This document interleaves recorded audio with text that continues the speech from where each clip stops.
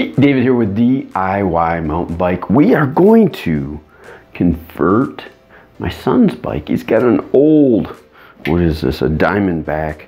It's got a 3 by 8 drivetrain. We're going to switch it over to a 1 by or a single chain ring up in the front versus the 3. So generally the process, right? We're going to take the shifter off. We're going to take the front derailleur off. Then we're going to pull our crank arms off along with our front chain rings. We're going to replace it with another set of chain rings with something called a narrow wide chain ring. Helps retain the chain on the bike. Put some cranks on, swap out the pedals. So that's generally the process. What tools do you need? So just hitting the tools again, like I'm like sitting out here. I know it's not very organized, but so hex wrenches, most likely the eight, and then all the little ones you're gonna need for taking stuff off the handlebars, along with that front derailleur.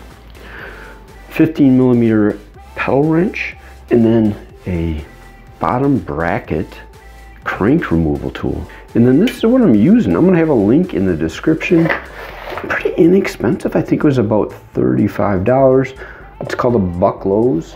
Um, I bought a narrow wide chain ring.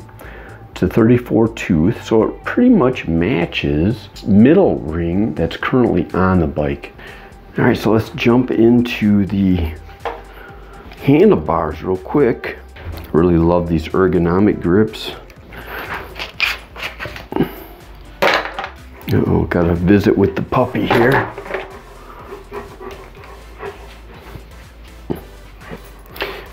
Watching my daughter's dog. All right, so got this off. All right, so we're down here at the front derailleur. Let's take this guy off. So remember, we're gonna have to take the chain off as well. Just getting in here, gonna loosen up the cable attachment. Got that off. Now take the main derailleur clamp off. This one's got to come all the way off. It's on a hinge.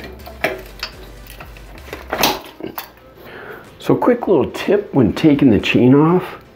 I've got a piece of, it's just a hanger that I have. So I've got the master link identified. And then I'll stretch that out a bit pop that in. It gives me some slack. This is an old greasy chain. I'm gonna end up cleaning this guy up. But with that slack, I can get onto my master link. Pop that guy loose. About like so. Quick and easy. With that uh, piece of coat hanger, it's just bent into some little hooks. And I got my master link out. Right, I'm gonna throw this chain into this bucket and give it a good clean. So we got our front derailleur off at this point. Next we get to jump into taking our crank off and putting on our new chain ring. So crank this bolt here isn't like a lot of the other bolts, it's just a normal threaded bolt. Oh, get out here. So next up is our crank puller. We're gonna take our cranks off. Be careful, you don't wanna cross thread this, so put it in. We're gonna screw this in until it stops. A lot of times your pedal wrench, a 15 millimeter, is gonna be what is gonna work on this. Usually comes off pretty easy. Kind of a slow turn. That's it. So take that off and we'll do the other side.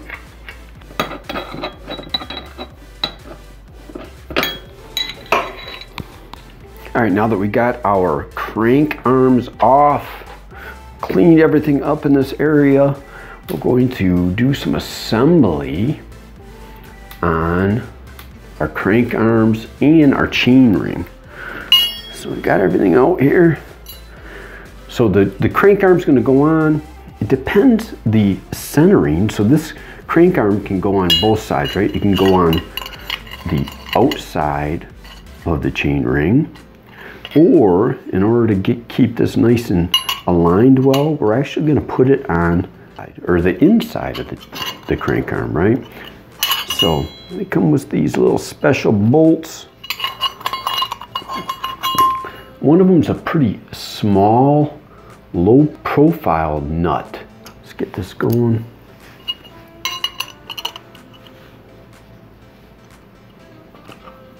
So screw that guy on. We got one on loose.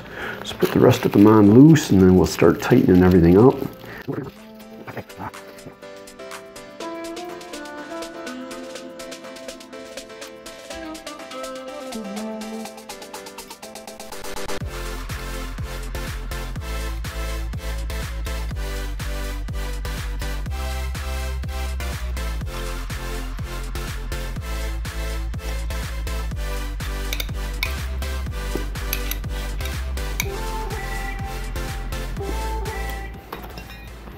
All right, so we got it on. Let's put our crank arms on both sides of the bike.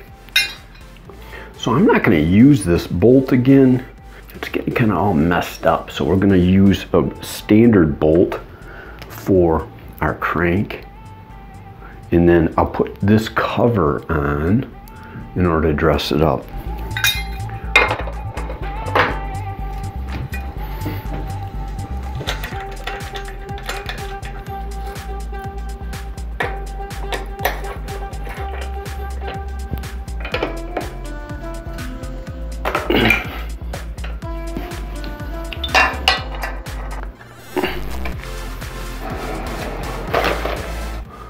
Now it's time for our pedals.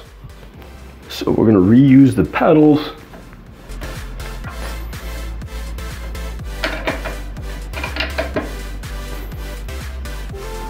I don't really believe in tightening pedals down real hard.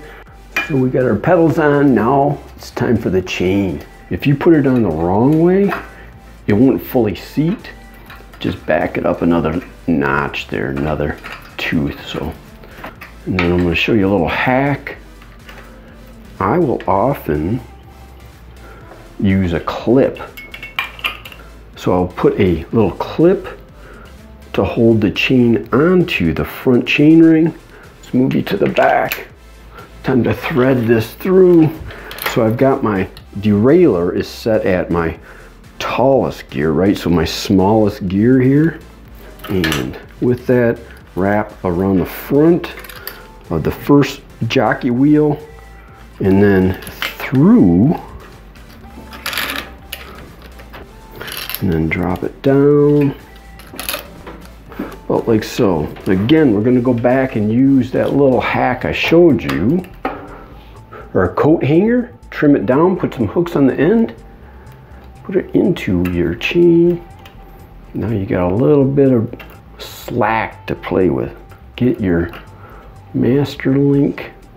All right, let's unhook this. And then you always want to give this a little to set that link. All right, looks pretty good. All right, we're gonna run through our gears real quick.